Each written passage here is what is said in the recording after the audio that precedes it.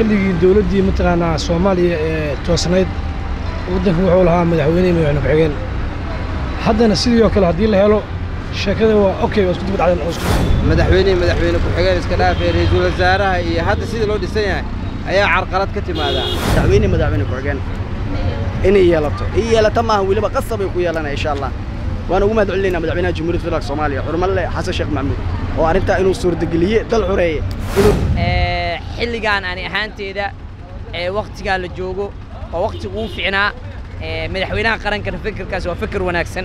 Aan aaminsanahay waana soo dhowaynayaa waana aragti saliim ah. Macnaha waxay ka dhigan tahay in madaxweyne ku-xigeenku uu iska yahay magaca waddanka uu madaxweyne leeyahay. Baarlamaankana laga guurayo awood dhexana iyo waddanka uu madaxweynuhu bas yeelanayo. Taasna waxaan u arkaa in caqabado badan ay keeni karto. Dowladda soomaaliya ayaa dadaallo ugu jirtaa sidii wax kabeddel looga samayn lahaa geedi socodka siyaasadda dalka ee uu ahaa madaxweyne iyo ra'iisul wasaare. Haddaba xilligan la taagan yahay soomaaliya ma yeelan kartaa madaxweyne iyo madaxweyne ku-xigeen haddaba waa kuwan qaar ka mid ah shacabka reer muqdisho oo ka dhiibtay fikirkooda. Haa waa u diyaarsan tahay. Magacayga waa liibaan saalax. Waxaan aad ugu mahad celinaa waraysiga haa waa u diyaarsan tahay soomaaliya sababtoo ah ilaa intee anigaan ku jiraynaa qof cod uu leeyahay inaan ku shaqayno waa in aniga cod aan leenahay waxna ku dooran karnaa waxna ku diidi karnaa. Soomaaliya way u diyaarsan tahay madaxweyne madaxweyne ku-xigeen إني يلطو هي لا تماه ولا بقصة بيكو يلنا إن شاء الله. وأنا وما دعلينا مدعينا جمهورية فلك صوماليا. عرم الله حسن شيخ محمد وأنت إنه سور دقلية دل عري إنه سور دقلية مهم وتعرف أسوايو وأنا يعرف تديدا. وعد كستو دور الشدة إذا عد كست حق يقول إذا موادنا هن إني واحد دورته أيضا الله دورته عرم الله حسن شيخ محمود أنا وما دعلينا إنه يلو. صوماليا مدعينا أما مدعينا فرجان ها ويلا كتاوينا يلا دونتا إن شاء الله.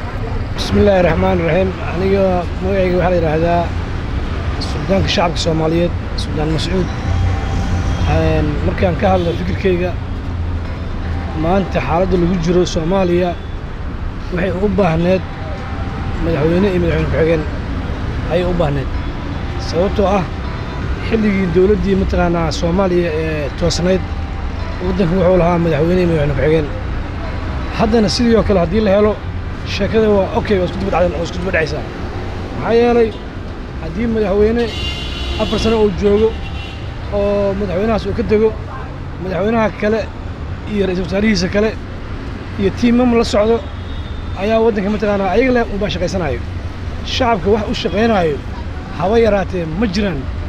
Laakiin madaxweyne iyo madaxweyne ku-xigeen waa xaqiiqo waddankan isbeddel weyn oo dhinac kasta ah ayuu gelayaa.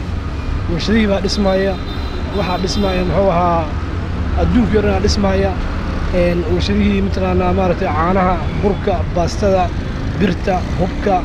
وحنا نصور لنا إن شاء الله. ساسع مسنا علي. إيه ولا شيء وما سنت هاي أذية تي في جاك سعته إيه عرقتي هن إيه سوماليا وابدل دجال السكيو يدباتو يرفض بدن كذي حد حوجير سعد لكوفايو مرنا كوفايو مرنا كعاي مرنا كوفايو مرنا كعاي حالات كجرو حلقان أنا هانتي ذا إيه، وقت قال الجوجو ووقت وفينا إيه، مدحونا قرن كان فكر كاس وفكر ونكسن أنا مسناي وأنا سودو وينيا وأنا عرقت السليمة إيه، وأنا أنا هانتي ذا شخصين عرقت ذي ذا كارليا سومالي رم وهالذكره لأيكو حناي سومالي وانت سمليينا هل قف وكم ذا هاي.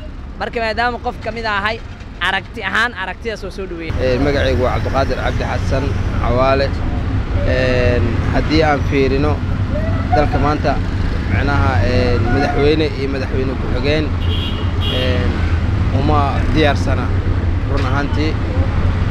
Maxaa yeelay dalkan waa four pointy five. Dastuurkii oo four pointy five-ka ahna lagama bedelmin oo mala bedelin dhinac kale looma dhigin qaab kale oo loo jiheeyey ma jirin mana jiraan hadda uma jeedno. Marka maadaama dastuurkii aanan dhammaystirnayn maanta macnaha uma taagno madaxweyne iyo madaxweyne ku-xigeen maxaa yeele waxaa ognahay dalkan waxyaabo badanaa ka dhiman waxyaabo badan ayaa ka qaldan waxyaabo badanaa jiheen u baahan. Wax badan waa la qabtay wax badanna waynoo dhiman yihiin. Madaxweynaha sidii uu sheegay saddex xeer galbeedka qaban lahayd iyo laba annaga a qabsan lahayn. Labadeen ayaa maqan. Maanta waxaa waaye amnigeenna ama amniga magaalada ama amniga caasimadda boqolkiiba siddeetan macnaha seef zaa'id seef seef ma aha. Marka maadaama uu seef ahayn haddana in la yidhaaho madaxweynihii madaxweyne ku-xigeen oo dalka aada aniga ahaan ra'yi ahaanteyda ka dhalinyaro ahaanteyda ka aqoon ahaanteyda macnaha suurtagal ma ahan. Haddii ay wax kale suurtagal ay noqon karaan ay jiraan waa soo dhoweyn karnaa waan rabnaa laakiin maanta xaaladda lagu jiro anagoo cabbirayno anagoo ogaahayna xaaladda lagu jirno og. Macnaha uma diyaarsanin umana taagnin in madaxweyne iyo madaxweyne ku-xigeen uu dalkan yeesho. Idoo la og yahay four point five inayn macnaha magaaladan ku dhisan tahay maamul goboleedyadii ay qaarkood macnaha inta badan ay ka hor yimaadaan dowladdii markaas dhisanto. Haddana uma malaynaayo bal iska dhaafe.